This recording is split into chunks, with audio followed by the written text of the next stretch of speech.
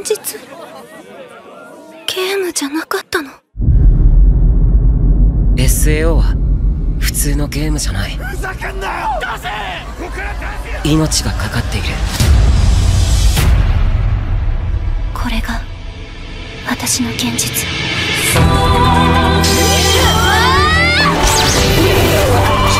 もう生き方なんて選べない。地下栄光への道行き緒だったのに。どうしてこれはゲームであっても遊びではでも死に方くらいなら選べる。私が私でいるために。劇場版「ソードアートオンラインプログレッシブ星なき夜のアリア」